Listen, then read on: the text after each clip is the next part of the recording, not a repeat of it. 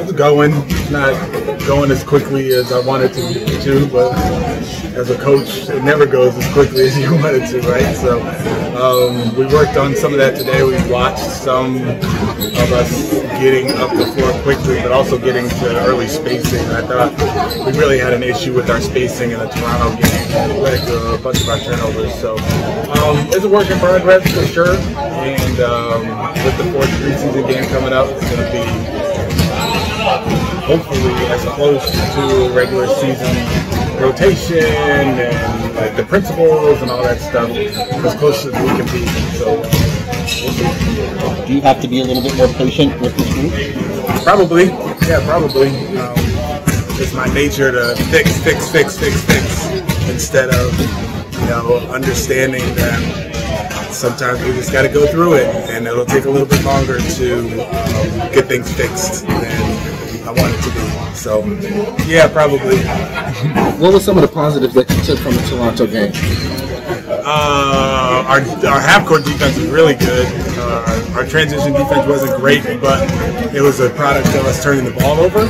But once we got them in the half court set, our points per possession were very low, and we stuck to our principles defensively, and we were early with our low man, and we had ball pressure and all that. So um, that was the main positive that came from uh, the Toronto game was our half court defense. The last two teams you played had, had a game plan specifically for you guys, but they're very team defense, yeah. very in sync with one another. For sure. Is that an experience that, like a, a rookie like Jalen, maybe doesn't see in the summer league or in the league?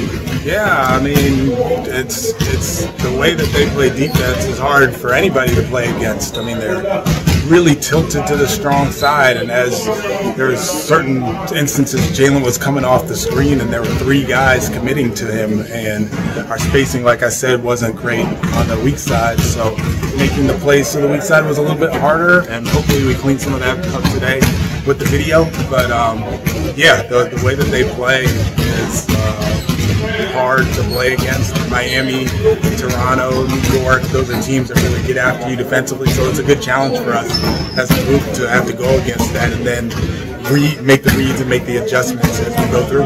You know, you you know, a number of rookies. He's playing a good deal more than us.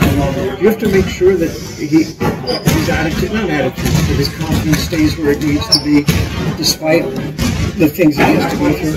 Yeah, yeah, but, but that's everybody. I mean, we have to be a confident group regardless of the ups and downs of the season and the adversities that we feel that we um, kind of go through. So, yeah, for him and everybody on our on our team, we're going to go through some things that aren't going to be great, and um, we can't have dips. There may be slight dips in confidence and slight dips in um, kind of happiness, but just kind of being into it. And it's our ability to bounce back from those moments that is going to prove whether we are ready or not. Uh, Coach, how much of Game 4 will be used as a evaluation for rotation and roster spots?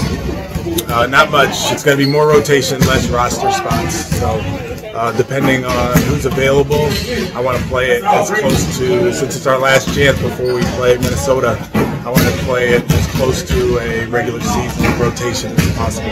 Is available a possibility for He's a possibility. He's day to day, so uh, it's a possibility. Is he the only one that's uh, in question? Uh, Theis is day to day as well. Yes. Uh, he had me. But has there been anything in these three games that you said you've done this well in all three? Um, no. I wish I was saying yes to that, to that, but uh, we've been a little inconsistent. The first game was very different than the last two games. It was very much a product of the teams that we were playing and uh, the excitement of game one versus uh, the grind of game two as far as Miami and then being on the road for game three. Uh, so the inconsistency is something that uh, we have to address as a group, but it is a product of having a young group that has just been put together. So yeah, there's going to be some inconsistency that is not surprising at all. You talked about